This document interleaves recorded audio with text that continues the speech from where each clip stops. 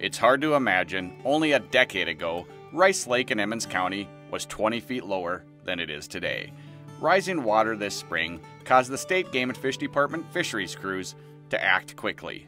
We've installed a drop structure on the outlet from Rice Lake. Uh, Rice Lake this spring reached its natural outlet for the first time really since uh, North Dakota was first uh, settled by European settlers. Uh, and that presented some problems. Usually more water means good things for fish, uh, but in some cases the water levels rise too much and can cause some problems by allowing some invasive species to access these lakes.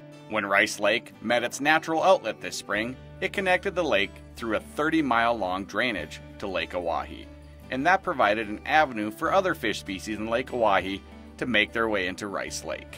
Rice Lake has been an outstanding fishery for decades. It's one of our premier fisheries uh, in the south central portion of North Dakota.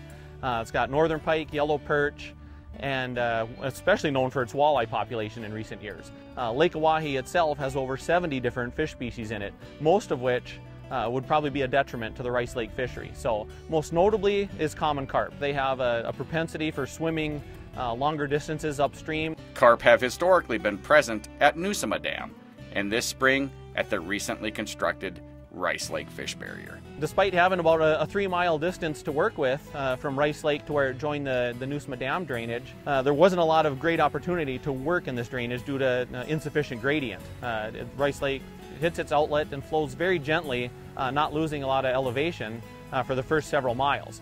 So we were fortunate to have this about a half mile stretch here that offered a little steeper gradient uh, where we could install a, a, drop structure such as this. And this project wouldn't have been possible without the collaboration from private landowners. We're very fortunate to have uh, Dwayne and Dale Nusima, uh, who also uh, enjoy Rice Lake themselves, who are willing to let us conduct this project on their property.